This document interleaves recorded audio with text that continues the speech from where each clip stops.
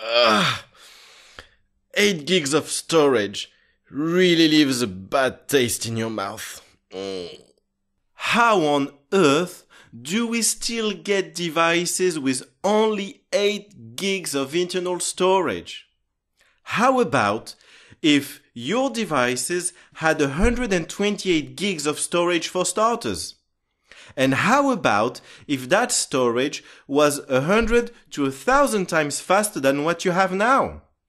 And how about if it only used a fraction of the power that your storage currently uses?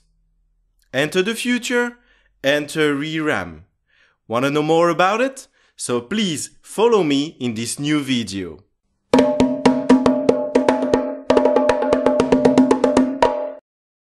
So why do we need something different? Well, currently what is most commonly used is flash memory and it has come to its limits. It is rather slow, it uses quite a bit of power and it can't be much more extended as regards as storage capacity. So uh, there's a company that's called Weebit Nano and they have teamed with the CEA to be able to improve uh, and produce a new technology which is called ReRAM, which stands for resistive RAM. And they are well ahead at that and making good progress. So if we actually take a look at the information available on their website, it makes it very interesting. When it comes to performance, they advertise it to be a thousand times faster than Flash. So it ranges from 100 to 1000 times faster than Flash. Makes it really interesting, really powerful.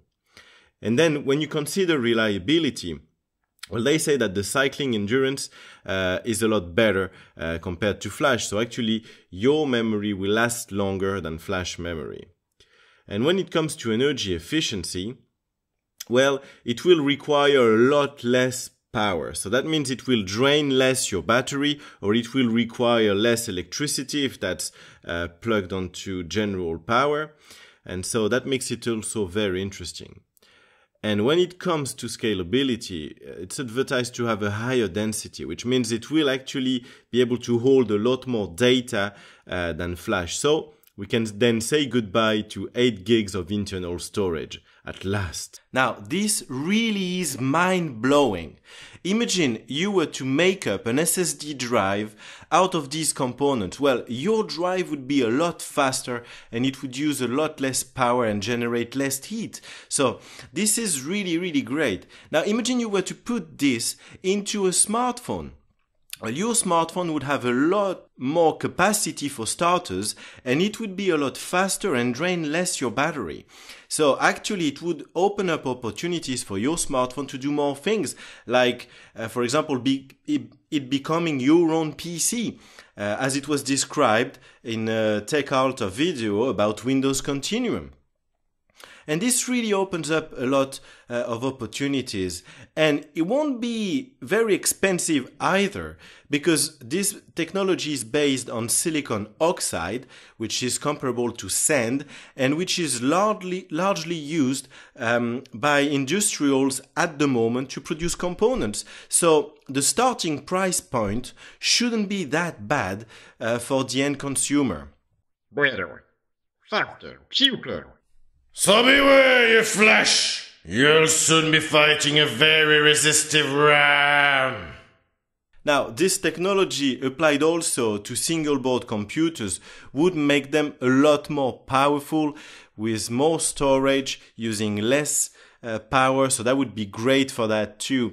This could make its way also inside uh, the Internet of Things field, so you would have uh, these components everywhere. This would help also uh, medical appliances, uh, apply applications with AI.